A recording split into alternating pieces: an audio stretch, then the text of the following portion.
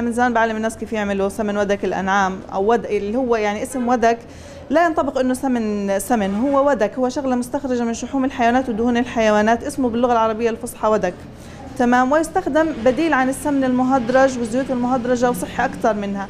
ليش صحي أكثر منها؟ لأنه نقطة الاحتراق عنده عالية. أنت لما بتطبخي فيه ولا بتحطيه على زيت القلي الزيت القلي ما بينحرق بسهولة وما بتغير طعم الأكل ما بيطلع عندنا شوارد حرة تسبب سرطانات لما بنستخدمه في الأكل. هذا غير إنه بيساعد على تذويب الفيتامينات الذوابة في الدهون مثل فيتامين دي وكي واي فهاي الفيتامينات لما بتكون موجودة في الأكل مستخدم هذا السمن نستفيد منها أعلى استفادة ممكنة. فلما عرضت عليها فكرة المشروع قالت طب خلينا نعمل يعني زي اختبار بسيط نبلش نصنعه وتسوقي لنا له يا دكتورة. تشوفي يعني هل المتابعين عندك بيقدروا ياخذوه فعلا تقبلين الفكرة؟ وفعلا يعني الحمد لله إنه في نسبة كبيرة بتثق في كلامي. كثير كثير استفادوا على نصائح قدمتها لهم وعملنا صفحة برضه باسم المشروع اسمها ودك الأنعام حتى نترجم الدراسات العلمية المعمولة عن هذا المنتج. ونعرضها للناس وإنه كيف بلاد الأجانب في بلاد برا ماخذين هذا المنتج وعمالين بيعملوه بصنعوه. حتى يباع في السوبر ماركتات اللي برا تحت اسم tallow beef وبينصحوا حتى في حتى دكتور بيرج هو خبير تغذية عالمي نزل حلقة كاملة عن فوائد هذا الودك. وبلشنا نصنع ولقينا المجتمع عمل بيتقبلوا شوية شوية وعملنا فحص في جامعة الأزهر في معامل الأغذية وأثبتت جودة المنتج وعملنا فحص في وزارة الاقتصاد وحاليا في, إجراء في يعني في إجراءات الترخيص من وزارة الاقتصاد حتى نطلع فيه للمجتمع ونكون عاملين أول منتج وطني من نوعه. يعني الحمد لله حاليا في كل فلسطين ما حدش بينتج هذا المنتج إلا إحنا.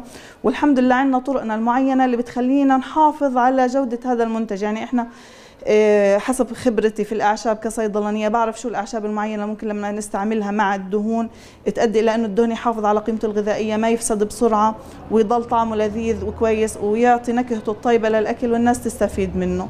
وبلشنا في في المشروع والحمد لله شوي شوي عمالين بنلاقي إقبال عليه يعني الحمد لله. للنوع الدهن اللي إحنا بنستعمله يفضل إنه يكون الدهن الملاصق للحم تمام؟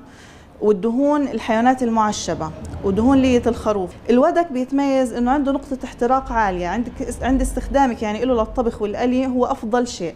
ما بيطلع لنا trans fatty acid ما بيطلع شوارد حرة.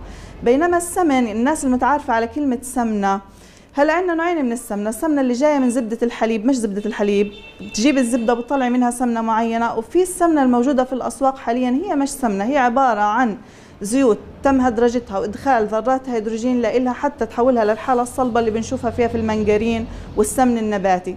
هذا لا يعتبر سمن يعتبر شغلة مضرة الإنسان افتكسها واخترعها حتى تكون بأسعار رخيصة ويستخدمها في الطهي والقلي والأغراض هذه. وللأسف يعني عملين من سنة 1970 هم بيعملوا دراسات إنه إيش مضرة بالقلب وبالشرايين وبكذا.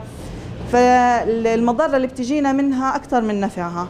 لكن إحنا طلعنا بهذا المنتج حتى الناس تفهم وتصير تستخدمه بديل عنها. وطبعا كل كل نوع من هذه الدهون إحنا بنكتب على الأغلفة زي ما انت شفتي قبل شوي كيف بنكتب على الأغلفة وكل نوع له بطاقته المعينة وبنرمز له برمز معين في منها بنصنعه بنكهه في منها بدون نكهة.